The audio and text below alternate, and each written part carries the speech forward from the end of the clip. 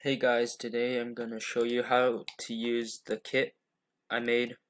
So this is what you get when you insert it. And look at all uh all this.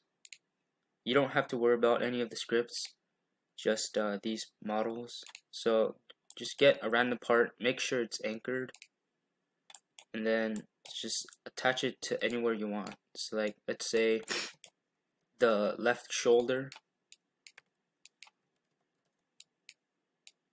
that or something.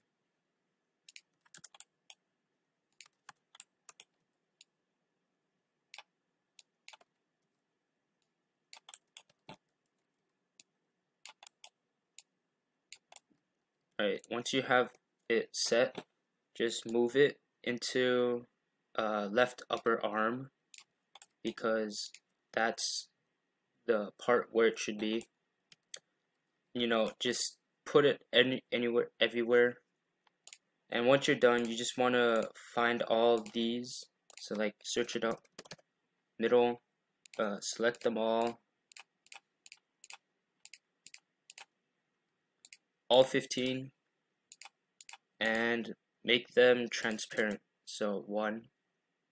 And you'll have this. So once you play and you do this, it'll be done. And you can do uh, this for every part of the body. This is just an example. And another example would be if you got the part again here uh, and you want to put it on the torso just so that we can see it here duplicate, move that to the torso, move this,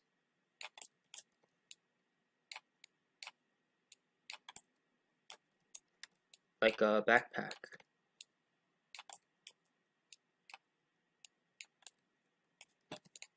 And then make that transparent again to get this.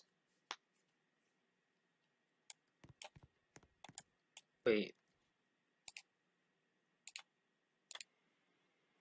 So I've fixed all the problems and as you can see all the parts uh, such as the shoulder which is the left or right upper arm the, the parts are all in that model. So if we test this it'll work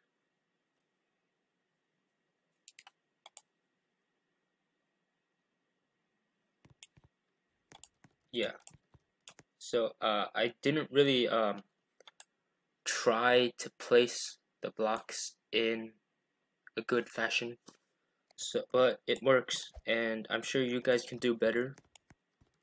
And this is the tutorial. Have fun making your armor sets and such. I'll uh, link the model in the description and have a nice day.